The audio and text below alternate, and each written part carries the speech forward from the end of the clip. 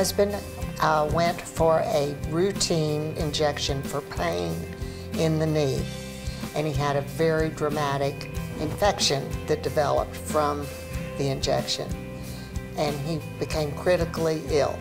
We wanted to get him home as quickly as we could because the infectious disease doctors said if there's any way you can get out of this hospital into private care in your home, he will get better, better and quicker. So that's when we became friends with you all.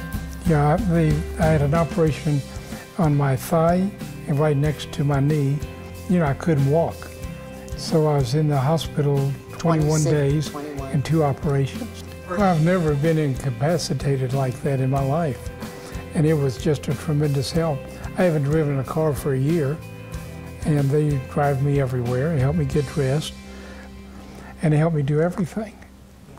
And we attribute that care to why right. he's getting so strong.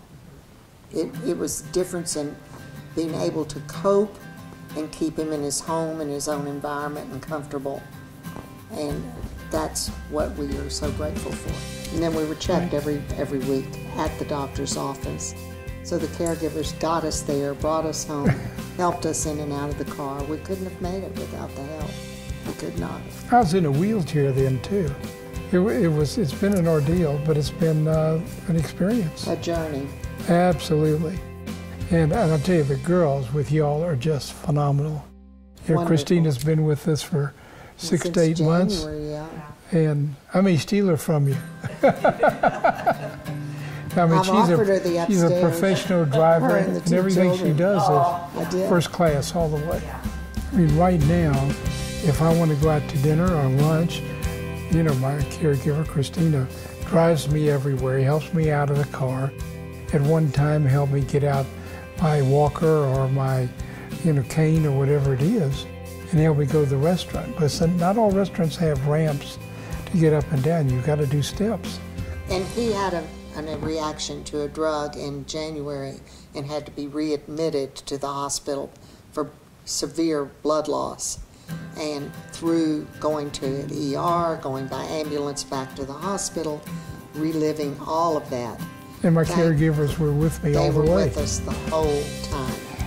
And one of the girls, when we had to leave in an emergency to the hospital, she said, Jojo, I will pack his clothes and his dog kit. I You knew where everything was. What he needs, and I will do that for you. I And she didn't spend the night at the hospital. No, the no, caregivers home did. I had 24 7.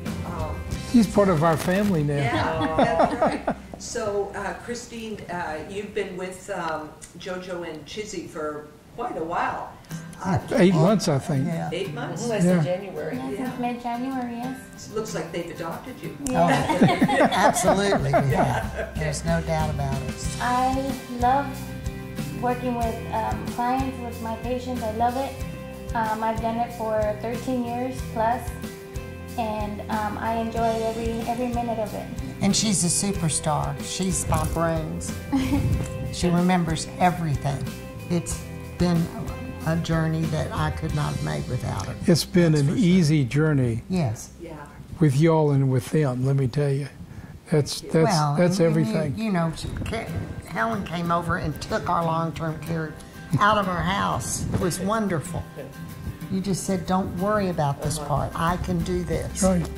That was huge. I love them.